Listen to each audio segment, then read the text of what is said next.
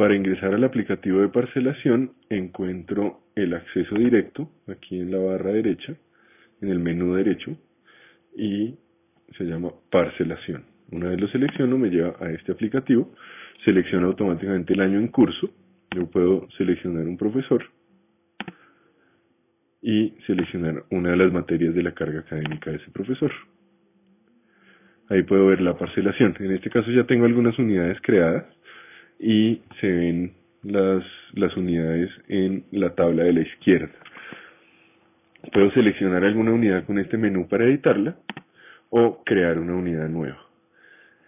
En el lado izquierdo de la página encuentro las unidades y las horas disponibles aproximadamente.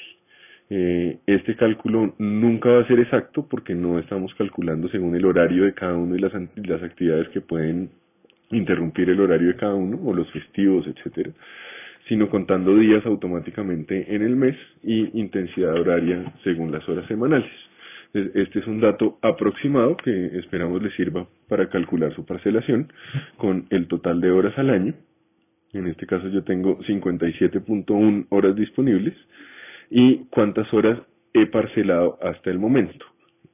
veo el dato de horas disponibles en cada bimestre el total de horas en el año, cuántas horas he parcelado y tomado el preparador de clase, cuántas horas he preparado. Para agregar una unidad nueva, hago clic en este botón Unidad Nueva y veo los campos para crear una nueva unidad. Voy a crear la unidad número 7 y la voy a llamar unidad 7. En la descripción de la unidad pueden escribir eh, una descripción breve de lo que van a lo que van a aprender y el tipo de actividades que van a hacer, especialmente para que ustedes recuerden si hacen la parcelación ahora en agosto, cuando estén mirando lo que parcelaron para abril, recuerden dentro de siete meses más o menos qué era lo que estaban pensando hacer. Les escriben su descripción de la unidad y las fechas. Esta unidad va a comenzar en enero, el 14 de enero, mal día un viernes. Empecemos el lunes, el 16 de enero, y va a durar una semana hasta el 16 de febrero. El total de horas en un mes, según mi intensidad horaria, es 8. Yo lo calculo mirando el calendario. Y ahora agrego los objetivos. Estos objetivos académicos son los objetivos que yo agregué en el aplicativo de objetivos e indicadores. En este caso vamos a seleccionar algunos de los indicadores del objetivo 3 y algunos de los indicadores del objetivo 1. También tengo los indicadores, los objetivos e indicadores transversales, tanto los cognitivos como los formativos. Voy a agregar algunos de los cognitivos de desarrollo psicolingüístico,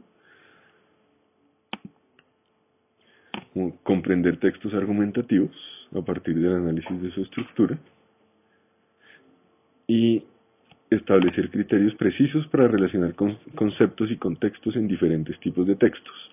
Estos objetivos no los vamos a evaluar explícitamente en los informes, pero buscamos que sí estén incluidos en las preparaciones de clase y en las parcelaciones y se esté buscando explícitamente desarrollarlos con los estudiantes junto con los objetivos académicos de cada área. Los aprendizajes fundamentales, nociones, proposiciones o conceptos principales que se van a tratar junto con las habilidades y destrezas que van a desarrollar en, en esta unidad. Eh, si no están seguros esta, esta sección a qué se refiere, por favor consulten con su jefe de departamento o con la dirección académica o la dirección de bilingüismo. Los aprendizajes fundamentales también los escribo.